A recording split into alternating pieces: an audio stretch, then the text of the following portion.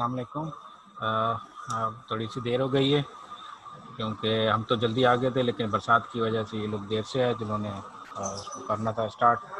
पहले ही हम शॉर्ट हैं, काफ़ी अपने टाइम से मैं कोशिश करूँगा कि अपने वक्त पूरा कर लूँ वरना इसको आधा आज करेंगे आधा नेक्स्ट टाइम करेंगे। So today we will discuss in other important topic in the field of nephrology uh, which is chronic kidney disease. And these uh, patients we are seeing uh, regularly and frequently in our OPD setup. एक यह जो है वो emergency hospitalise patient में ज़्यादा हम देखते हैं।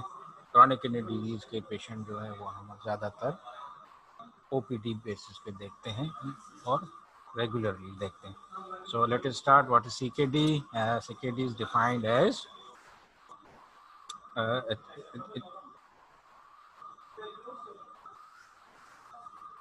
it is a irreversible acute kidney injury जो था वो reversible loss of renal functions था, लेकिन in CKD there is irreversible loss of renal functions for more than three months. तीन महीने से ज़्यादा अगर किसी को फेलियर है, फिर हम उसको लेबल करते हैं क्रॉनिक किडनी डिज़ीज़। उससे पहले हम उसको अक्यूट किडनी इंजरी कहते हैं। या इस तरह से भी डिफाइन किया गया है क्रॉनिक किडनी डिज़ीज़ को।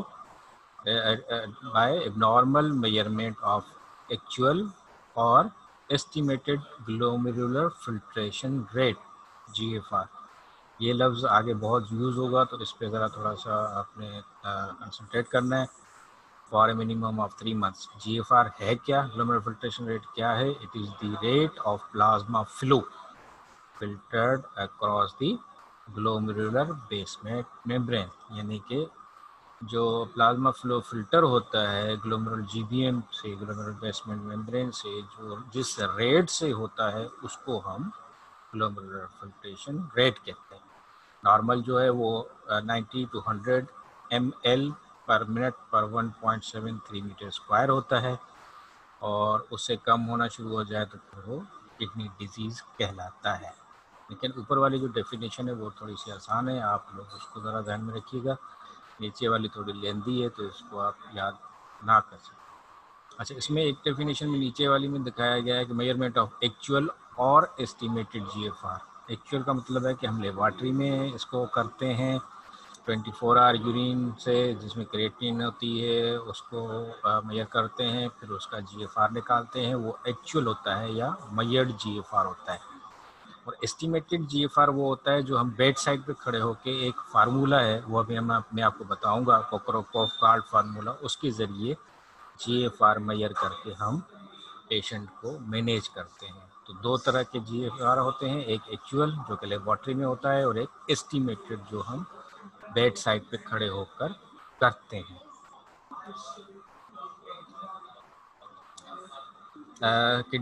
क्रॉनिक किडनी डिज़ीज़ के जो काजेज़ में जो नंबर वन काज है, वो है डायबिटीज़ यानी कि 40 परसेंट जो डायबिटिक पेशेंट हैं वो क्रॉनिक किडनी डिज़ीज़ डेवलप करते हैं। इसका मतलब है कि अगर एक सौ शुगर के मरीज़ हैं तो उसमें सिर्फ़ 40 मरीज़ ऐसे होंगे जिनको क्रॉनिक किडनी डिज़ीज़ हो सकती है। 60 मरीज़ जो शुगर हैं, उनको क्रॉनिक किडनी डिज़ीज़ नहीं होती। हाइपरटेंशन 25 27 परसेंट है। उसके साथ ग्लोमेरोनेफ्राइटिस है, जो कि 11 परसेंट लोग है काज और सी का। फोर परसेंट काज जो है, वो है टेस्टिशनेफ्राइटिस और 18 परसेंट जो काज हैं, वो अदर हैं। अदर्स में एनसेट्स हैं इन्फेक्शन हैं स्टोन्स हैं और प्रेगनेंसी इंड्यूस्ड है प्रीक्लिमशिया क्लिमशिया मतलब बहुत सारे काजेज़ हैं जो कि अदर्स में आते हैं तो वो सारे मिल मिला के 18 परसेंट शेयर कर लेते हैं अपना CKD के डी के काज का। अच्छा क्लासिफिकेशन जो है सी के डी की, वो बेस की गई है ऑन ग्लोमर फिल्ट्रेशन रेट हमने अभी ग्लोमर फिल्ट्रेशन रेट जो है उसका बताया है आपको कि वो क्या होता है। Rate of plasma flow across the glomerular filtered across the glomerular basement membrane और नॉर्मल जो है 90 से 100 एम पर मिनट पर 1.73 मीटर स्क्वायर होता है। तो उसकी बुनियाद पर हम सी को डिवाइड करते हैं into five stage stage one जो सी के डी है, उसमें किडनी डैमेज होती है, लेकिन उसका जी एफ़ आर नाइन्टी से ऊपर होता है।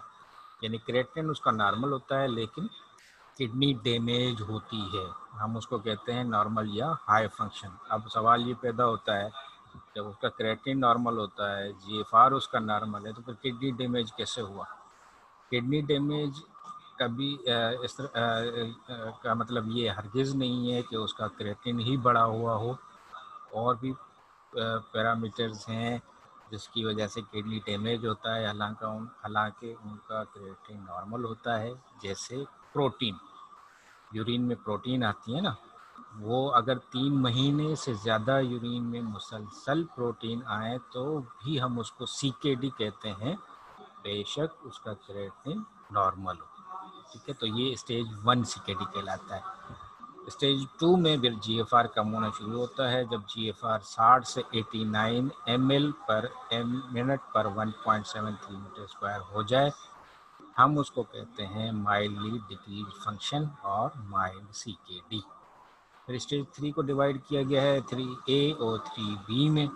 थ्री ए में जब G F R forty five to fifty nine M L पर मिनट पर one point seven three meter square हो जाए और उसको हम लेबल करते हैं कि it is mild to moderately decrease renal function three B में जब G F R thirty to forty four percent forty four M L हो जाए तो moderate to severely C K D कहलाता है। स्टेज फोर में जब G F R fifteen to twenty nine ML per पर मिनट हो जाए, वही called it severe decrease kidney functions stage five में जब G F R 15 ML L से कम हो जाए तो we level it as a kidney failure अब सवाल ये पैदा होता है कि क्लासिफिकेशन ये स्टेज पिक के एक क्यों डिवाइड की गई है? तो ये बाद में मैनेजमेंट में हमारे काम आती है। स्टेज वाइज जो मैनेजमेंट हम करते हैं सी के मरीज़ों में, उसके लिए वजह लिए ये क्लासिफिकेशन की गई है कि हर स्टेज की मैनेजमेंट अलग है, वो अभी हम डिस्कस करेंगे। इस वजह से ये सी को डिवाइड किया गया है फाइव स्टेजेस पे, डिपेंड ऑन और based on global filtration rate. कौन से रिस्क फैक्टर हैं जो कि इस क्रॉनिक किडनी डिज़ीज़ को डेवलप कर सकते हैं? जो एक जो आप ग्रीन कलर का एरो देख रहे हैं, जो कि दो तरफा एरो है। रीनल हाइपरटेंशन है, वो रीनल फेलियर करा सकता है। रीनल फेलियर में हाइपरटेंशन हो सकता है, यानी दोनों चीज़ें एक दूसरे के साथ जुड़ी हुई हैं। ब्लड प्रेशर हाइपरटेंशन की वजह से रीनल फेलियर हो सकता है और रीनल फेलियर की वजह से हाइपरटेंशन हो सकता है। बाज़ हम ये ऐसे कभी कभार थोड़ा सा फंस जाते हैं कि आया पेशेंट का जो ब्लड प्रेशर है, वो रीनल फेलियर की वजह से है या रीनल फेलियर जो है पेशेंट का ब्लड प्रेशर की वजह से है, क्योंकि दोनों चीज़ें एक दूसरे के साथ कोरिलेट करती हैं। तो हिस्ट्री और बाकी पैरामीटर से फिर हम डिफ्रेंशिएट करते हैं कि आया यही ब्लड प्रेशर रीनल फेलियर की वजह से है या रीनल फेलियर ब्लड प्रेशर की वजह से हुआ है। डायबिटीज़ है ग्लोमेरुलाइटिस है इन्फेक्शन है like chronic pyelonephritis hereditary genetic factors हैं like polycystic kidney disease urinary tract obstruction है, कोई स्टोन्स वगैरह आ गए या विजाइको यूरिट्रिक रिफ्रैक्स हो जाता है इन्वायरमेंटल रिस्क फैक्टर्स हैं हेवी मेटल्स हैं। ड्रग इंड्यूस चाहे कैंडल जैसे gold radio contrast radiographic contrast हैं या दूसरे जो हैं एजेंट्स वो अदम सिस्टमिक डिज़ीज़ हैं इन्फेक्शन है टीबी है माइलोमा है और कैंसर हैं और भी बहुत सारी सिस्टमिक डिज़ीज़ हैं जो फेलियर करा सकती हैं। ओबेसिटी या हाइपरकोलेस्ट्रोलीमिया है, वो हाइपरटेंशन कराती है रीनल फेलियर हो सकता है स्मोकिंग भी हाइपरटेंशन रीनल फेलियर कराता है एथीरोस्क्लेरोसिस भी हाइपरटेंशन और रीनल फेलियर करा सकता है। थ्रम्बस भी हाइपरटेंशन के बाद रीनल फेलियर करा सकता है तो ये तमाम रिस्क फैक्टर्स हैं। इसकी वजह से किसी को रीनल फेलियर हो सकता है या क्रॉनिक किडनी डिज़ीज़ हो सकती है। अच्छा पेशेंट कैसे प्रेजेंट करेगा हमारे पास? तकरीबन तमाम जो हमारे सिस्टम हैं बॉडी के, वो इन्वॉल्व होते हैं क्रॉनिक किडनी डिज़ीज़ के, और जो मेन जो कल्प्रिट है, वो है यूरिया रीनल फेलियर में यूरिया क्रेटिन बढ़ जाते हैं इलेक्ट्रोलाइट्स भी डिस्टर्ब हो जाते हैं, जिसकी वजह से पेशेंट को साइन सिम्टम होते हैं। अगर हम क्लिनिकल मैनिफेस्टेशन के बिल्कुल नीचे देखेंगे तो आपको न्यूरोलॉजिकल सिस्टम के नज़र आएँगे। सिम्टम्स उसमें पेरीफ्रल न्यूरोपैथी हो सकती है रेस्टलेस लेग्स हो सकती हैं अल्टर लेवल ऑफ़ कॉन्शियसनेस हो सकता है पेशेंट लेथार्जिक हो सकता है कंफ्यूज हो सकता है इंसेफेलोपैथी हो सकती है, और उसके मोटर फ़ंक्शन भी अल्टर हो सकते हैं। फिर उसके राइट साइड पे देखेंगे तो हेमाटोलॉजिकल में आपको एनीमिया होगा वीकनेस होगी फटीक पेलार लेथार्जी ब्लीडिंग हो सकती है due to impair platelet aggregation platelet patient के नॉर्मल होंगे, लेकिन यूरीमिया की वजह से उसका फ़ंक्शन जो है वो डिस्टर्ब हो जाता है, जिसकी वजह से पेशेंट को ब्लीडिंग के चांसेस होते हैं। अच्छा इसमें एनीमिया जो है, दो तरह की, वैसे तो एनीमिया की तीन टाइप्स हैं। हाइपोक्रोम माइक्रोसाइटिक है नॉर्मोक्रोमिक है और मैक्रोसाइटिक है। तो इसमें जो एनीमिया होगी क्रॉनिक किडनी डिज़ीज़ में वो नॉर्मोक्रोमिक होगी। क्यों होती है? क्योंकि रेथ्रोपोइटिन जो है, वो किडनी से सक्रीट होता है हार्मोन वो सक्रीट होना बंद हो जाता है सिक्रीशन उसकी बंद हो जाती है तो फिर वो एनीमिया होता है। और इसको एनीमिया को हम नॉर्मोक्रोमिक नॉर्मोसिटिक एनीमिया कहते हैं। फिर उसके ऊपर आ जाए मस्कुलोस्केलेटल सिस्टम में रीनल ऑस्टोडिस्ट्रॉफी हो जाएगी, यानी कि किडनी की वजह से जो बोन की बीमारी है, वो हो जाएगी बोन वीक हो जाते हैं ब्रेटल हो जाते हैं ऑस्टोप्रोसिस हो जाता है और बाज़ों का बगैर किसी चोट या बीमारी के पेशेंट को फ्रैक्चर हो सकता है। ये क्यों होता है? ये इसलिए होता है कि विटामिन डी जो एक इंपॉर्टेंट हार्मोन है जिसकी वजह, जो किडनी से रिलीज़ होता है, उसकी सिक्रीशन कम हो जाती है, विटामिन डी कम हो जाएगा तो आपकी बॉडी में कैल्शियम कम हो जाता है। जब आपकी बॉडी में कैल्शियम कम हो जाएगा तो फिर बोन जो एक जो बड़ा रिजर्वायर है आपकी बॉडी में कैल्शियम का, वहाँ से फिर वो कैल्शियम निकालते हैं, वो निकालता है पैराथायरॉयड हार्मोन। फिर कैल्शियम इतना निकल चुका होता है बोन से तो meet the normal requirement of your daily daily activity के वो फिर बोन बहुत वीक हो जाते हैं और वो वी फ्रैक्चर uh, भी उनको उनमें हो सकता है। हम इसको कहते हैं रीनल ऑस्टियो डिस्ट्राफी आपका पैराथायरॉयडिज्म अगेन वही पैथोलॉजिकल फ्रैक्चर ये सारी चीज़ें रीनल ऑस्टियो डिस्ट्राफी में होती हैं।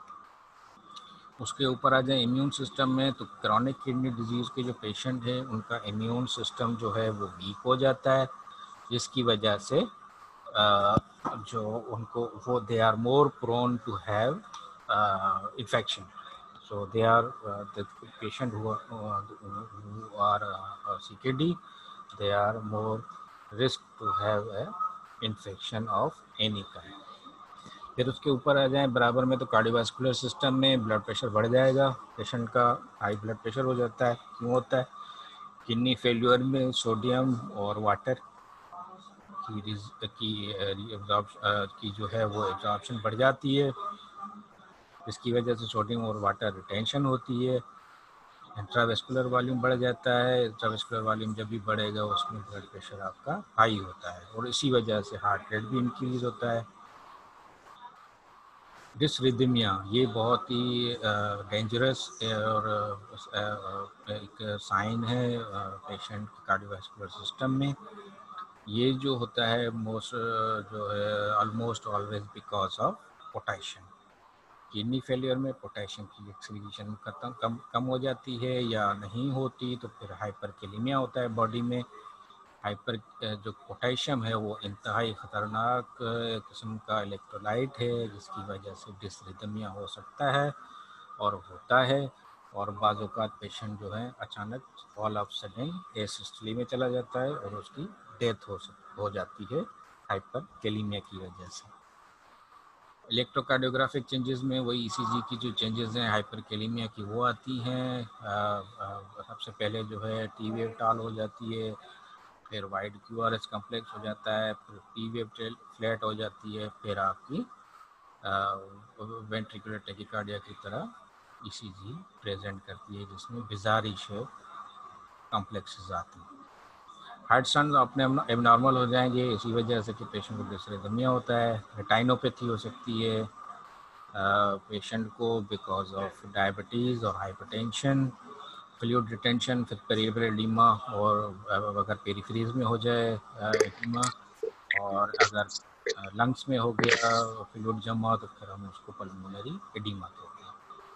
फिर उसके बराबर में जाए स्किन में ब्रूजेज मिलेंगे प्रोटाइटिस खारिश होती है ड्राई स्किन होती है स्किन कलर चेंज हो जाती है from ash great yellowish because of the of urea hairs dry brittle हो जाते हैं और नेल्स भी ड्राई होते हैं और भुरभुरे हो जाते हैं। रेस्पायरेटरी सिस्टम में अगर हम आ जाएँ तो फिर पेशेंट को जो सिम्टम जो मोस्ट कॉमन सिम्टम होता है वो रेस्पायरेटरी रेट पेशेंट का बढ़ा हुआ मिलता है। जब वो कहता है कि मुझे सांस लेने में तकलीफ़ होती है। वो क्यों होती है? वो इसलिए होती है कि रीनल फेल्यूर में जो बाइकार्बोनेट हैं, जो अल्कली है उसकी रिएब्जॉर्प्शन नहीं होती और एसिड की जो एक्सक्रीशन है वो बंद हो जाती है, ख़त्म हो जाती है, कम हो जाता है। हमारी बॉडी में एसिड बढ़ जाता है, जिसको हम एसिडोसिस कहते हैं और किडनी की वजह से हो जाए तो वो हम उसको मेटाबॉलिक एसिडोसिस कहते हैं। जब एसिडोसिस बढ़ जाए तो सबसे पहला सिस्टम जो बॉडी का है वो रेस्पिरेटरी है।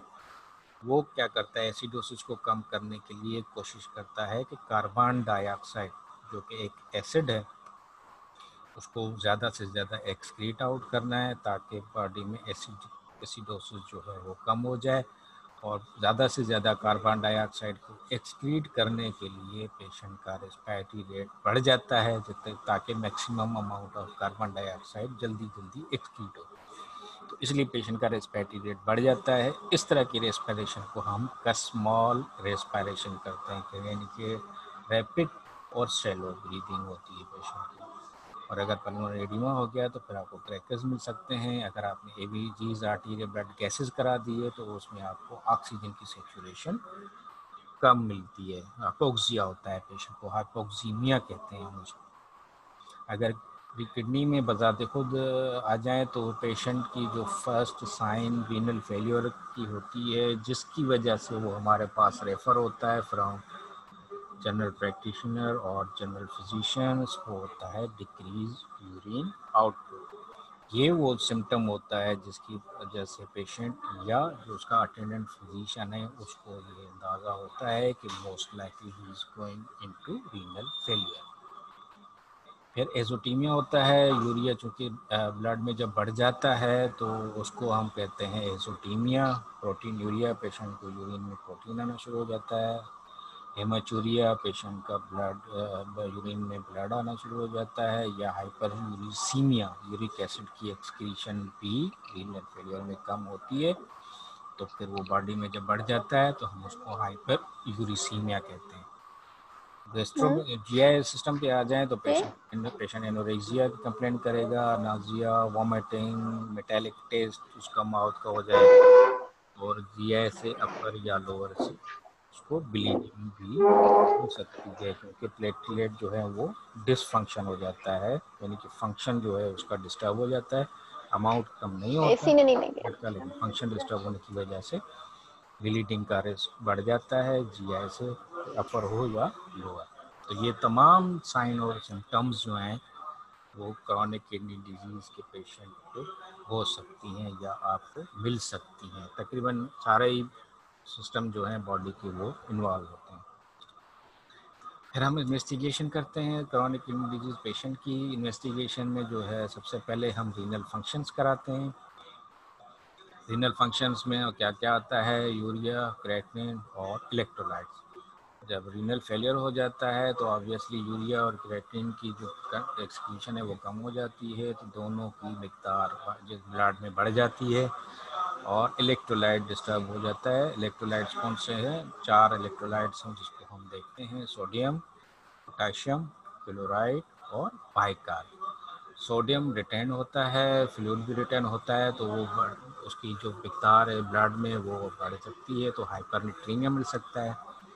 पोटेशियम आपको हमेशा बढ़ा हुआ तकरीबन मिलेगा। 90 परसेंट पेशेंट्स में नाइन टेन परसेंट में नहीं भी, भी होता है। और ज़रूरी भी नहीं है कि सोडियम भी बढ़ा हुआ हो तो कम भी हो सकता है या नॉर्मल भी हो सकता है। पोटेशियम आपको बढ़ा हुआ मिलेगा, क्लोराइड का कोई ऐसे कोरिलेशन नहीं है, वो कम भी हो सकता है, बढ़ भी सकता है डिपेंड करता है काज क्या है। और बाइका तकरीबन 90 परसेंट पेशेंट्स में क्रॉनिक किडनी डिज़ीज़ के पेशेंट्स में कम होता है।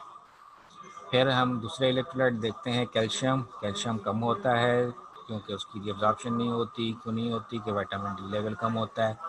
इस वजह से।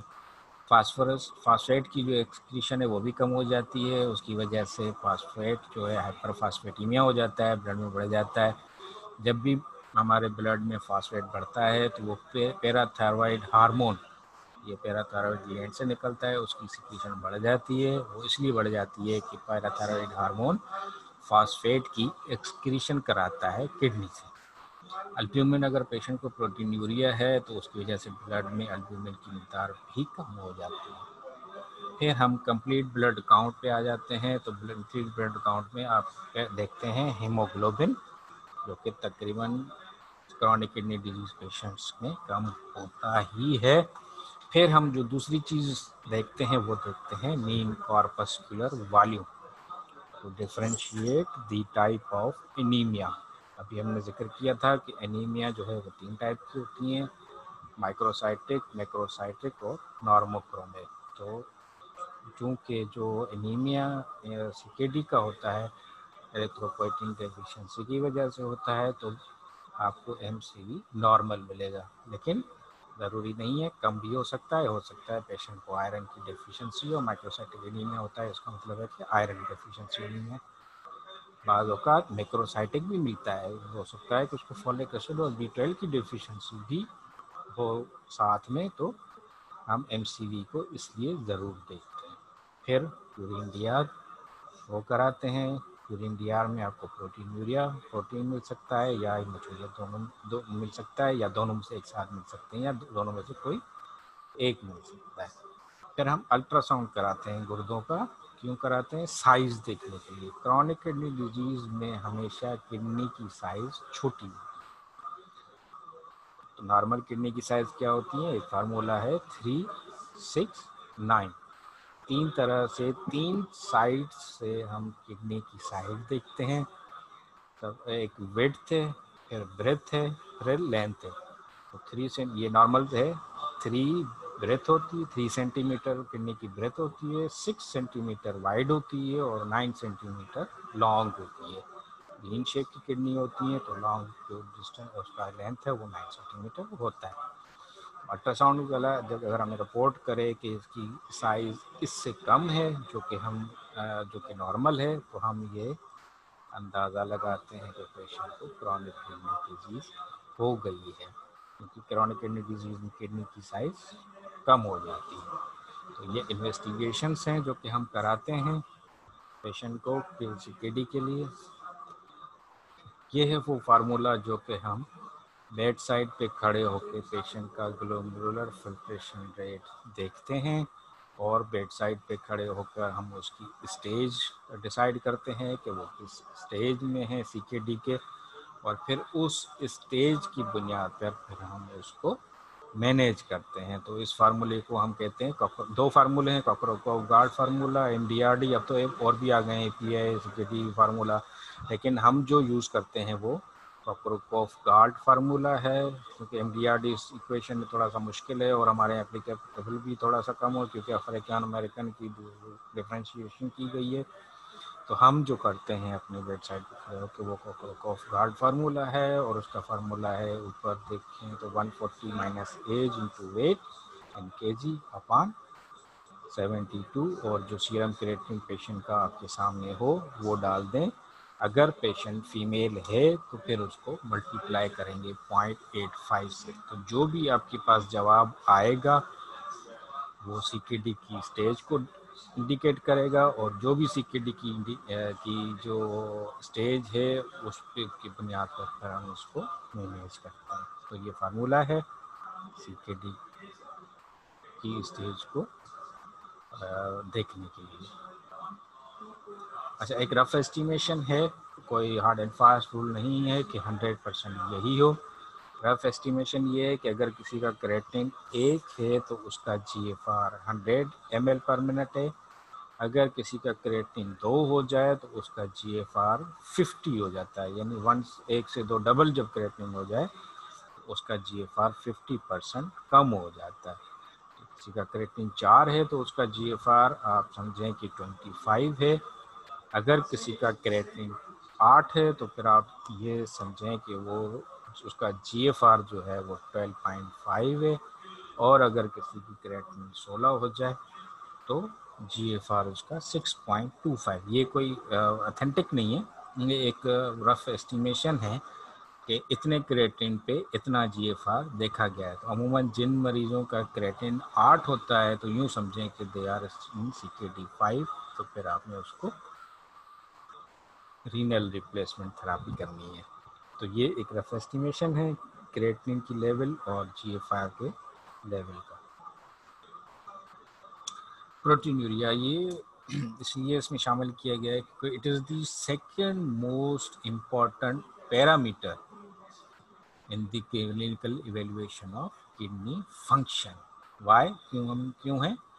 Because it may be the only sign of kidney damage जैसे हमने ज़िक्र किया kidney stage C stage one में किडनी डैमेज हो, लेकिन उसका जी नॉर्मल हो, लेकिन वो किडनी डैमेज कैसे होता है? वो होता है प्रोटीन यूरिया की वजह से। And persistent proteinuria is diagnostic of C K D अगर तीन महीने से ज़्यादा किसी को प्रोटीन यूरिया हो रहा है, आप लेबल कर दें उसको C K D regardless of G F R level G F R बेशक उसका नॉर्मल है। हम उसको सी के डी लेबल कर सकते हैं और वो सी के डी वन कहलाता है। अगर किसी का proteinuria more than three month से हो रहा हो।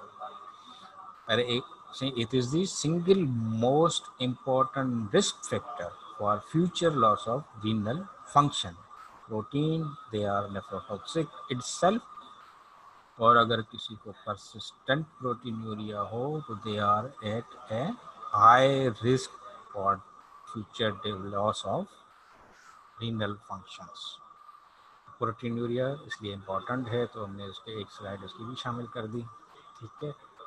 प्रोटीन यूरिया को इग्नोर नहीं करना है। अच्छा जी, ये कॉम्प्लिकेशंस हैं रीनल फेलियर के। रीनल फेलियर में होता क्या है? सोडियम और वाटर की जो बैलेंस है, वो डिस्टर्ब हो जाता है, यानी रिटेंशन हो जाती है तो फिर हाइपरटेंशन होता है। हाइपरटेंशन फिर हार्ट फेलियर कराता है, या सोडियम और वाटर रिटेंशन की वजह से ब्लड वेस्कुलर वॉल्यूम इंक्रीज हो जाता है तो वो भी एक कंट्रीब्यूटिंग फैक्टर है टुवर्ड्स हार्ट फेलियर और एडिमा का। पोटेशियम बैलेंस डिस्टर्ब हो जाए पेशेंट का पोटेशियम एक्टिवेशन कम हो जाती है हाइपर हो जाता है, उसके हमें कॉन्सिक्वेंसेज जो है वो अभी डिस्कस किए थे। नाइट्रोजीनियस वेट्स जो कि एलिमिनेट होते हैं किडनी से, वो रिटेन होते हैं रीनल फेलियर में तो हम उसको यूरीमिया कहते हैं और यूरीमिया वो कंडीशन है जो कि पेशेंट को सिम्टम डेवलप करती है लाइक पेरिकार्डाइटिस है पेस्किन डिसऑर्डर अभी ने डिस्कस किए G I neurological sexual dysfunction ये सारे अभी हमने डिस्कस किए थे क्लिनिकल मैनिफेस्टेशन में। अभी हमने कहा था कि यूरीमिया की वजह से प्लेटलेट डिस्फंक्शन हो जाते हैं तो ब्लीडिंग होती है, उसको हम कोगुलोपैथीज कहते हैं। रेथ्रोपोइटिन कम होता है, उसकी प्रोडक्शन कम हो जाती है तो पेशेंट को एनीमिया हो जाता है। एसिड बेस्ड डिस्टर्बेंस हो जाए तो पेशेंट की जो बाइकाब है, उसकी एब्जॉर्प्शन नहीं होती और एसिड की एक्सक्रीशन नहीं होती तो वो एसिडोसिस हो जाता है। इसी की वजह से पेशेंट को फिर जो कैल्शियम है, जो कि रिजर्वायर है, बड़ा हमारे बॉडी में बोन की सूरत में, वो कैल्शियम जो है वो अल्कली है। फिर एसिडोसिस की वजह से कैल्शियम को निकलना पड़, निकालना पड़ता है बोन से। उसकी वजह से फिर हो जाती है। फिर कैल्शियम विटामिन डी की कमी की वजह से भी नहीं होता हाइपोकैल्सीमिया होता है। उसकी वजह से फिर आपका पैराथायरॉयड एक्टिवेट हो जाता है। वो भी बोन से कैल्शियम को निकालना शुरू कर देता है। फास्फेट जो है वो बढ़ जाता है तो वो भी हाइपरफास्फेटीमिया भी पैराथायरॉयड हार्मोन को की सिक्रीशन को बढ़ा देते हैं। क्योंकि पैराथायरॉयड फास्फेट को एक्सक्रीट कराना होता है तो वो फिर उसकी भी सिक्रीशन बढ़ जाती है तो वो फिर क्या करते हैं कि मुसलसल बोन से तमाम चीज़ें जो हैं वो बोन से कैल्शियम को निकालने के चक्कर में बोन को वीक कर देती हैं। जिसको हम ऑस्टियोडिस्ट्रॉफीज कहते हैं और चूँकि ये गुर्दों की वजह से होती है तो हम इसको रीनल ऑस्टियोडिस्ट्रॉफीज कहते हैं। तो ये तमाम चीज़ें जो हैं, वो कॉम्प्लिकेशंस और इसकी वजह से होती हैं और उसका ये मेकेनिज़्म है होने का। अच्छा कॉम्प्लिकेशन अगर हो जाती हैं तो फिर उसकी ट्रीटमेंट भी करनी होती है हमने। ट्रीटमेंट कैसे करती हैं? बाइका सोडियम बैलेंस डिस्टर्ब हो जाता है सोडियम रिटेन हो जाता है। और वॉल्यूम ओवरलोड हो जाने की सूरत में हम पेशेंट को बोलते हैं कि आप वो सोडियम का इनटेक जो है डाइटरी सोडियम इनटेक कम कर दें। और वॉल्यूम ओवरलोड हो जाता है तो फिर पेशेंट को हम डायूरेसिस देते हैं ताकि वो किडनी से जितना हो सके पेशेंट को वॉल्यूम एक्सक्रीट कर सकते हैं ठीक है? पोटेशियम की एक्सक्रीशन कम हो जाती है, हाइपरकेलीमिया हो जाता है तो फिर हम सबसे पहले एक काम ये करते हैं कि पेशेंट को कहते हैं कि अपनी डाइट में से वो तमाम चीज़ें जिसमें पोटेशियम ज़्यादा है लाइक डेट्स यानी खजूर और बनाना, केला, ये इसमें ज़्यादा पोटेशियम होता है और तमाम सिट्रस फ्रूट खट्टे फ्रूट्स हैं they are rich source of potassium तो वो हम पेशेंट को एडवाइस करते हैं कि वो अवॉइड करें और एनसेड्स जो हैं वो भी अवॉइड करने होते हैं क्योंकि वो भी हाइपर हाइपरकेलीमिया कराते हैं। इंसेट का एक साइड इफ़ेक्ट है हाइपर हाइपरकेलीमिया तो इंसेट नहीं लेने। एसिड की एक्सक्रीशन कम हो जाती है तो पेशेंट को मेटाबॉलिक एसिडोसिस हो जाता है। जब मेटाबॉलिक एसिडोसिस हो जाए पेशेंट को तो हमें उसको अलकली देनी पड़ती है और वो हमारे पास अवेलेबल है। With the name of sodium bicarbonate oral भी है आईवी भी है. एक्यूट अगर एसिडोसिस है सीवियर किस्म का तो आईवी देनी है इंजेक्शन फॉर्म में देनी है. और अगर की सीवियर नहीं है माइल्ड फॉर्म में है तो फिर हम ओरल टेबलेट की सूरत में भी देते हैं. कैल्शियम फास्फोरस बैलेंस डिस्टर्ब हो जाता है हाइपरफास्फेटीमिया हो जाता है, उसकी वजह से हाइपर पैराथायरॉयडिज्म हो जाता है, और वो क्यों होते हैं? बिकॉज़ ऑफ़ हाइपोकैल्सीमिया और vitamin D deficiency vitamin D का हम जो केमिकल नेम है, वो कहते हैं कैल्सीट्रायल उसमें क्या कहते हैं? हाइपर फास्फेटीमिया में फास्फेट बाइंडर्स हैं हमारे पास अवेलेबल हैं ओरल फॉर्म में, जो कि हम देते हैं पेशेंट को तो जो गेस्ट जीआई से फास्फेट की एब्जॉर्प्शन है, वो नहीं होने देते तो फास्फोर कम हो हो जाता है हमारी बॉडी में. अवेलेबल है हमारे पास, ठीक है? और सेकेंडरी हाइपर पैराथायरॉयडिज्म हो जाए तो फिर उसमें कैल्सीमाइमेटिक ड्रग्स देते हैं। सिन्ना कैल्सेट के नाम से आती है, जो कि नेज़ल और स्प्रे के फॉर्म में भी है और इंजेक्शन फॉर्म में भी है, वो हम देते हैं अगर मरीज़ को सेकेंडरी हाइपर पैराथायरॉयडिज्म एरेथ्रोपोइटिन कम हो जाता है एरेथ्रोपोइसिस कम हो जाती है एनीमिया हो जाता है, उस सूरत में हम पेशेंट को एरेथ्रोपोइसिस स्टिमुलेटिंग एजेंट ईसा कहते हैं उसको शॉर्ट फॉर्म में। वो हम देते हैं, वो हमारे पास अवेलेबल हैं इंजेक्शन फॉर्म में, वो हम देते हैं। और अगर पेशेंट को उसके साथ साथ कॉन्टेक्ट जो कि रीनल फेलियर में कम हो जाता है पेशेंट एनोरेक्सिक हो जाता है तो हम उसको आयरन जो है, वो भी सप्लीमेंट देते हैं आईवी या ओरल फॉर्म में। तो ये तमाम जो कॉम्प्लिकेशन है सी के डी में, वो जिस वजह से होती हैं और उनकी ट्रीटमेंट कैसे की जाए, ये तमाम चीज़ें हम करते हैं depend upon which complication patient develop in chronic kidney disease जनाब, अब आ गए हम स्टेज वाइज जो मैनेजमेंट है, जो स्टेज जो वाइज डिवाइड किया गया ना क्रॉनिक किडनी डिज़ीज़ वो इसलिए किया गया है। तो इसलिए कि हमने जिस स्टेज पे पेशेंट हो, उस स्टेज पे उसकी उस लेवल की ट्रीटमेंट करते हैं। स्टेज वन में जैसे अभी हमने कहा था कि किडनी डैमेज होती है, या, लेकिन उसका जी एफ़ आर नॉर्मल या ज़्यादा होता है मोर देन नाइन्टी होता है। करना क्या होता है? करना ये होता है कि हमने डायग्नोसिस करनी है और कि ये पेशेंट को किडनी डैमेज क्यों है? अगर प्रोटीन यूरिया है तो उसको ट्रीट करना है। हेमाचूरिया है तो फिर उसको हमने ट्रीट करना है। क्या? पेशेंट डायबिटिक है हाइपरटेंशन है, या और जो काजेज हैं, उनसे के डी की डिस्कस की हैं उसकी ट्रीटमेंट करनी है, उसको कंट्रोल करना है। फिर ऐसे इकदाम करने हैं कि पेशेंट की प्रोग्रेशन जो है स्टेज वन से टू फिर थ्री फिर फोर या फाइव को स्लो कर सकते हैं, ताकि वो जल्दी रिंगल फेलियर में ना पहुँचे। ऐसे हम मैस करते हैं, करने पड़, करते हैं और करना चाहते हैं और फिर कार्डियोवेस्कुलर डिसीज डिटेक्शन करते हैं हम उसको। स्टेज वन और स्टेज टू ये वो दोनों, दो स्टेजेस हैं जिसमें पेशेंट जो है वो सिम्टम नहीं डेवलप करता। यानी पेशेंट को पता ही नहीं चलता कि उसको क्रॉनिक किडनी डिज़ीज़ हो सकती है और वो स्टेज वन टू में है।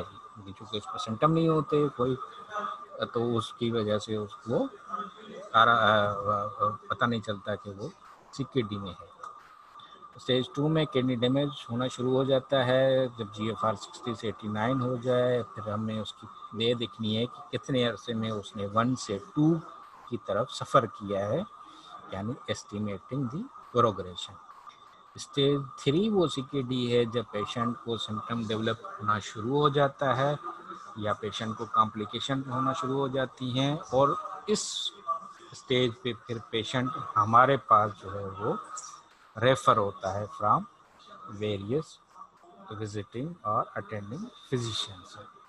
तो स्टेज थ्री में जब G F R moderately decrease हो जाए, यानी thirty to fifty nine M L पर मिनट हो जाए, और फिर हम उसको इवेल्यूएट और कम ट्रीट करते हैं, उसकी कॉम्प्लिकेशन जो अभी हमने प्रीवियस स्लाइड में डिस्कस की थी, जो कि जो कॉम्प्लिकेशन पेशेंट को होना शुरू हो जाए हमने फिर उसको इवेलुएट करते हैं और उसको ट्रीट करते हैं। ठीक है? स्टेज फोर में severely G F R decrease हो जाता है जब 15 to um twenty nine M L पर पहुँच जाए। फिर हम पेशेंट को प्रिपेयर करते हैं कि now you may need renal replacement therapy तो आप उसके लिए तैयार हो जाए। स्टेज थ्री और फोर में जो clinical and laboratory complication C K Aahista Aahista बढ़ना शुरू हो जाती हैं और सीवियर होना शुरू हो जाती हैं। जब स्टेज फाइव की नौबत आ जाए, यानी पेशेंट का जी एफ़ आर जब लेस देन फिफ्टीन हो जाता है तो फिर हम पेशेंट की रिप्लेसमेंट शुरू करते हैं। If uraemia is present uraemic symptom हो पेशेंट को हो, ज़्यादा हो कॉम्प्लिकेशन ज़्यादा हो सीवियर हो तो फिर हम उसको रिप्लेसमेंट करते हैं और रिप्लेसमेंट तो उस वक्त पेशेंट बजाते खुद एक्सेप्ट कर लेता है क्योंकि उसको श्रीमिया के सिम्टम इतने सीवियर होते हैं, इस वजह से। अब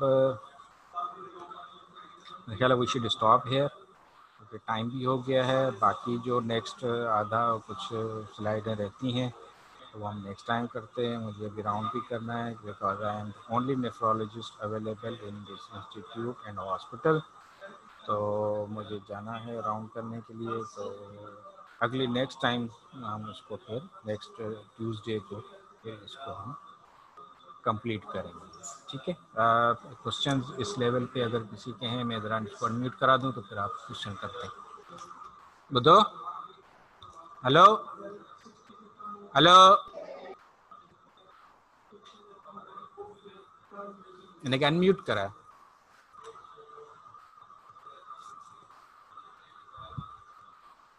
अनम्यूट करा दो क्वेश्चन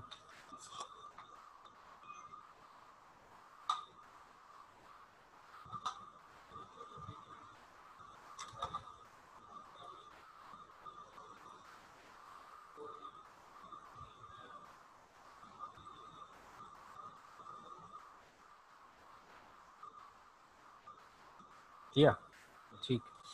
एनी क्वेश्चन रिगार्डिंग अब तक की डिस्कशन में अगर किसी की जहन में कोई सवाल है तो पूछ लें।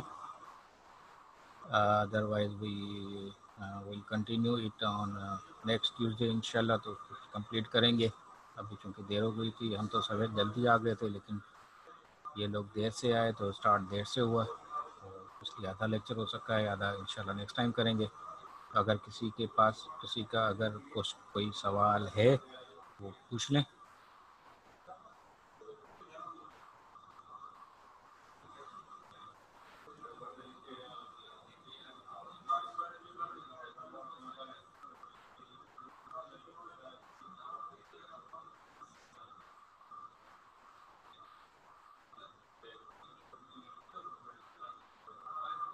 आवाज़ नहीं आई।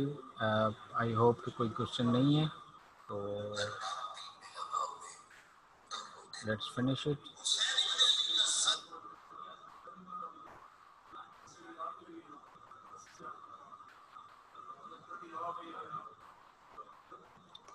ओके फिर हम इसको नेक्स्ट उसमें इंशाल्लाह कोशिश करेंगे कंप्लीट करने की नेक्स्ट ट्यूसडे को।